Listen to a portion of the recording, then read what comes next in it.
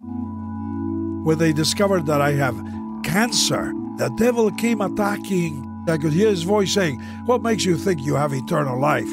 Evangelist Luis Palau. I remember feeling like Jesus said, People are going to say, Lord, Lord. And the Lord said, Depart from me, I don't know you. Satan said to me, You're one of those. You don't know the Lord. You're just telling other people about it. Wow, it was a real shakeup. My worst day, how you love me still will not change? What if it's really not about what I do, but what you did? What if this ain't wishful thinking? Just how it is. When Luis Palau was diagnosed with terminal cancer, his faith in Christ was put to the test. Luis is going to share more about that and more about his life as a world traveling evangelist on this episode of GPS God, People, Stories. It's an outreach of the Billy Graham Evangelistic Association. I'm Phil Fleischman. And I'm Jim Kirkland. After Luis talks about spending his life telling others about Jesus, you'll hear from Billy Graham on the importance of sharing your faith. We're to go to the whole world, not just to our own community or our own nation, but to all the world because the whole world needs to be saved. If you want to know more about what it means to be saved, pay a visit to our website. It's findpeacewithgod.net. That's findpeacewithgod.net. And if you want to get in touch with us here at GPS, send us an email. Our address is gps at billygraham.org. We recently heard from Abby. She told us that she feels encouraged in her walk with Jesus every week after listening to GPS. We are so glad to hear that, Abby. Thanks for letting us know. Again, the address is gps at billygraham.org. GPS. God, People, stories. I was born in South America. The southernmost country in South America is Argentina, and I was born in, uh, in the capital city. That city is Buenos Aires, and the year was 1934. Now, Luis's parents attended church, but they didn't have a relationship with Jesus Christ until shortly before Luis was born. And that's when a traveling Christian missionary led them to Jesus. When Luis was 10, his dad died unexpectedly. The way his father lived out his faith in his final days had a huge impact on Luis. because my dad knew he was dying. The fever was eating him up. He was yellow as could be. The doctor said, Go home. There's nothing I can do for you. It was bronchopneumonia in the days when there was no penicillin or anything else. And uh, my dad began, sat up in bed and began to sing a song and clap his hands, you know. And he sang about heaven three times. Then, exhausted from the galloping fever, his head fell on the pillow. He pointed up to heaven and he quoted St. Paul in Philippians 1 I'm going to be with Jesus, which is better by far. And a few moments later, my dad went to be with the Lord. Two years after his dad's death, Luis became a follower of Jesus with the help of a summer camp counselor. The counselor did a good job on me. He used Romans 10 9 and 10. You know, if you confess with your lips Jesus is Lord and believe in your heart God raised him from the dead, you shall be saved. And to me, I had the assurance of eternal life from that night out in the mountains of southern Argentina. Uh, I know I have eternal life. As he entered his teenage years, Luis began to feel God giving him wisdom about what he should and shouldn't do with his life. We have what they call Carnival over there, which is be- before Easter and Holy Week. And in the in our Latin countries, there's a lot of stuff goes on, like in New Orleans, you know, where the partying and the drugs and the drinking and everything is enormous. And I thought I can't engage in this. I was 17, and I said to the Lord, Lord. Get me out of this. I don't want anything to do with it. I want to please you. I don't want any garbage of the world. I just want to serve you.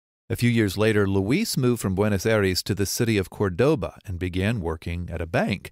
It was in Cordoba that Luis met a pastor from California named Ray Stedman.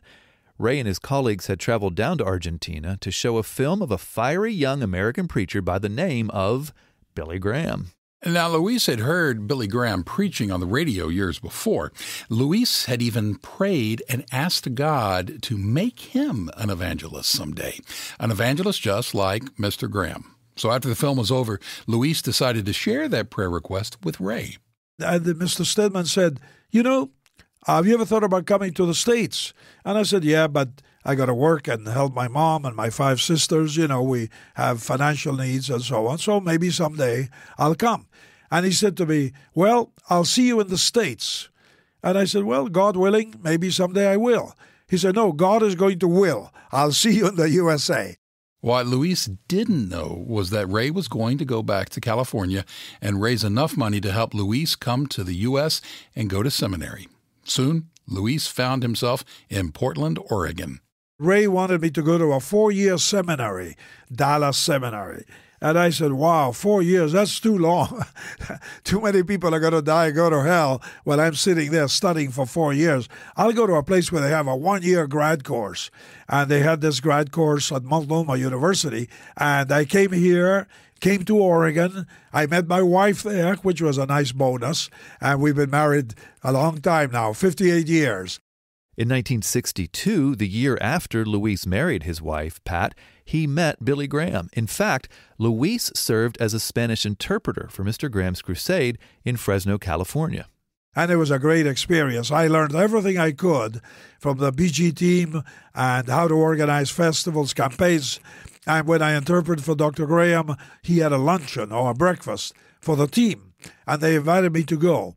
I didn't plan it this way, but I'm glad it worked. I was seated right next to Mr. Graham across the head table of the breakfast. And Mr. Graham asked me, well, Who are you? You know, and I told him my name. And he said, what are, what are you here for? And I said, I'm going to interpret for you into Spanish. And he said, What do you want to do in the future? And I told him, I want to have campaigns in big cities just like you do. And so he gave me a bunch of advice, Mr. Graham did. And for some reason, he got to like me and love me. And he was my friend for the rest of his days until the Lord took him home a year and a half ago. When Luis began his ministry work, he obviously had no idea how much the Lord was going to bless his dream of being an evangelist.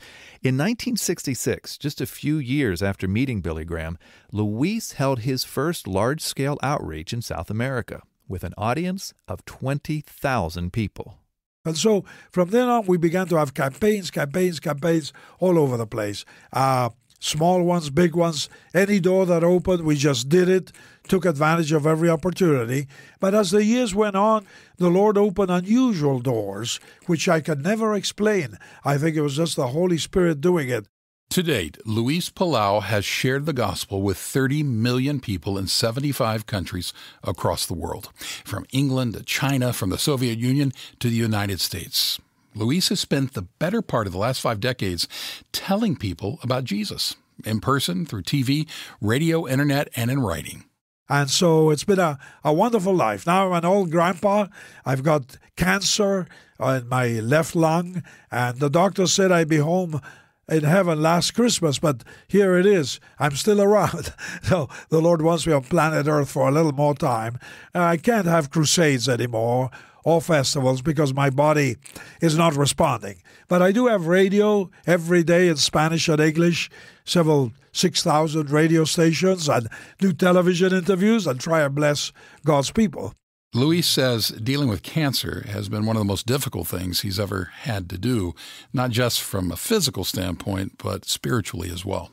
When they discovered that I have cancer, the devil came attacking I could hear his voice saying, What makes you think you have eternal life? What I know the stuff you did when you were young. I know what you think. You don't have eternal life. You just preach to other people. I remember feeling like Jesus said, People are going to say, Lord, Lord. And the Lord said, Depart from me, I don't know you. And, and Satan said to me, You're one of those. You don't know the Lord. You're just telling other people about him. Wow. It was a real shakeup. I've never doubted my salvation in 80 years.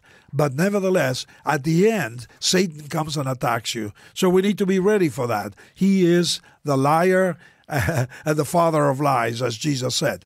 The only way Luis has been able to resist the devil's lies is through the truth found in the Bible, especially the book of Hebrews and especially chapters 8 through 10. It mentions seven times the phrase once for all, once for all, once for all, that the death of Christ was so perfect that that one sacrifice took away sin forever. The second thing that comes out in chapter 9 and 10 is that Jesus Christ is our attorney, our intercessor in the presence of God the Father, and that He intercedes for us, and that we uh, we know He's interceding for us. Therefore, though Satan may attack you, you know that we are safe in the arms of Jesus Christ, and He stands for us, protects us, guards us. And our conscience is clear, not because we're good, but because we are forgiven. Because it's very important. When you um, realize that uh, death is staring you in the face. It's just absolutely wonderful to know. I give them eternal life. They shall never perish. No one shall snatch them out of my hands. Uh, John 10 28, you know. And that came home to me with absolute force. I have eternal life. I know I'm going to heaven. My sins are forgiven. I'm a child of God. Jesus said, I'm going to prepare a place for you. I'm going to the place which He prepared for me. As Luis Palau looks back on his life and his ministry, he's quick to point out two things. One, you don't have to be a full time evangelist to share your faith with others. And two, it's not by our own strength that we live the Christian life. The risen Lord Jesus Christ lives in you. Christ lives in me. He lives in you. He really does. And He is the power that you need to be fruitful, to lead others to Jesus, to overcome temptation, not to perfection, unfortunately, till we get to heaven, but He lives in you, and all His power is your power. All His wisdom is your wisdom. All His energy is your energy. And you can be a lawyer, a doctor, a nurse, a truck driver, but at the same time, you're proclaiming the good news just like anybody else. You don't have to be a crusade evangelist to proclaim the good news. You can do it over a cup of coffee, uh, driving with a guy on a truck, everywhere. Yeah.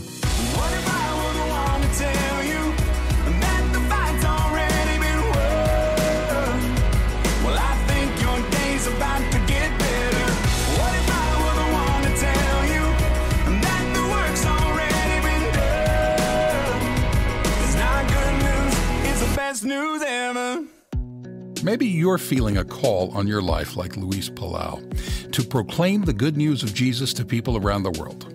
Or maybe you're not sure where you stand with this Jesus that Luis keeps talking about.